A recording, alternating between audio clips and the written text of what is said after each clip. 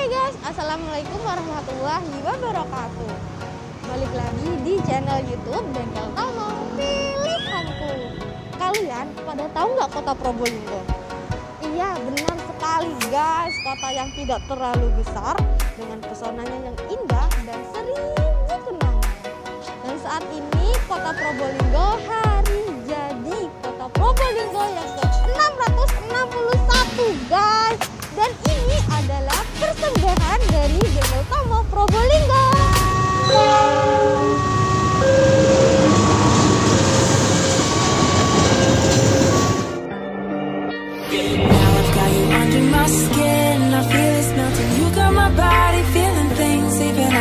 Resist.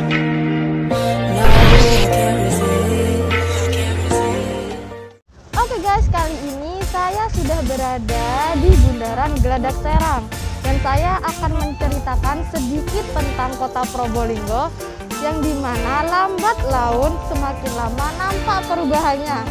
Meskipun di pandemi ini kota Probolinggo sebagian aktivitas terhenti.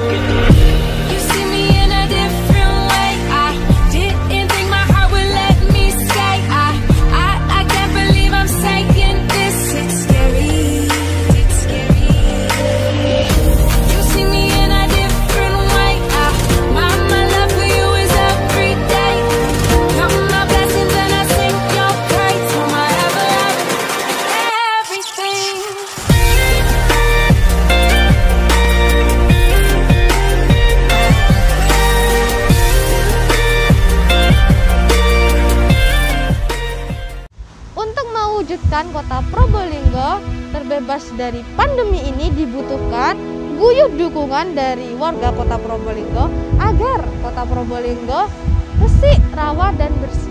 Bagaimana sih caranya?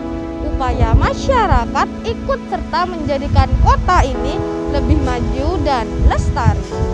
Caranya ikut menjaga kebersihan secara gotong royong agar pandemi ini cepat berakhir. Oke guys, dirgahayu ya untuk kota Probolinggo yang ke 661. Semoga tambah maju, tambah berkembang dan tambah sukses dan cepatlah berakhir pandemi ini. Terima kasih.